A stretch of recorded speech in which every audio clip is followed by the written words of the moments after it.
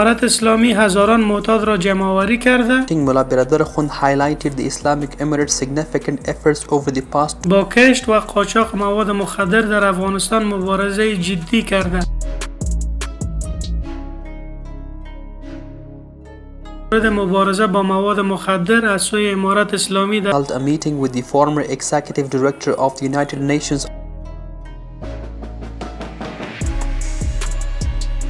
محترم ملا عبدالغنی برادر آخوند معاون اقتصادی ریاست الوزراء با پینو الارچی رئیس اجرایوی پیشین دفتر مبارزه با مواد مخدر و جرایم سازمان ملل متحد در دفتر کاریش دیدار نمود. در این دیدار هر دو طرف در مورد مبارزه با مواد مخدر از سوی امارت اسلامی در افغانستان و همکاری های مشترک افغانستان و جامعه جهانی در این زمینه بحث و تبادل نظر نمودند. محترم ملا عبدالغنی برادر آخوند گفت که امارت اسلامی در حدود دو نیم سال گذشته با کشت و قاچاق مواد مخدر در افغانستان مبارزه جدی کرده و در حال حاضر سطح تولید و قاچاق آن به صفر رسیده است. محترم ملا صاحب افزود که امارت اسلامی هزاران معتاد را جمعآوری کرده و تداوی این معتادان به طور بهتر انجام شده است. برای فراهم کردن زمینه کار برنامه های آموزشی حرفوی برای آنها راه اندازی گردیده است. به گفته محترم ملا صاحب با روی کار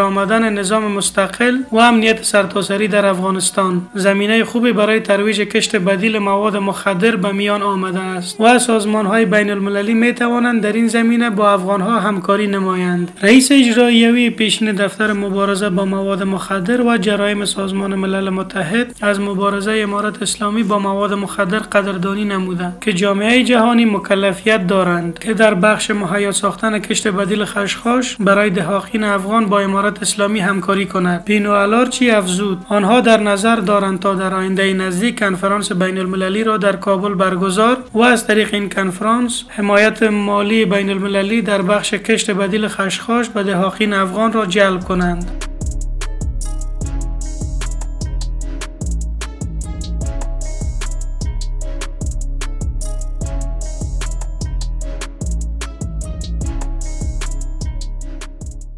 Mullah Abdul Ghani Biradar the Deputy Prime Minister for Economic Affairs, held a meeting with the former Executive Director of the United Nations Office on Drugs and Crime, Pinu Alarke, in his office to discuss the ongoing battle against narcotics in Afghanistan and future collaboration between Afghanistan and the international community in this area. During the meeting, Mullah Biradar Khund highlighted the Islamic Emirate's significant efforts over the past two and a half years to combat drug cultivation and smuggling, resulting in a drastic reduction in production and trafficking. He emphasized the rehabilitation efforts undertaken by the Islamic Emirate, including the treatment and vocational training of thousands of drug addicts to integrate them into society and provide employment opportunities. He also noted that the establishment of an independent system and improved security in Afghanistan has laid a solid foundation for promoting alternative crops, inviting international organizations to support this endeavor. Pinu Alarki, the former executive director of the United Nations Office on Drugs and Crime, commended the Islamic Emirates anti-drug initiatives and stressed the international community's responsibility to assist in providing alternative livelihoods for Afghan farmers. He expressed the intention to organize an international conference in Kabul soon aiming to garner financial support for implementing alternative crop programs in Afghanistan through international cooperation.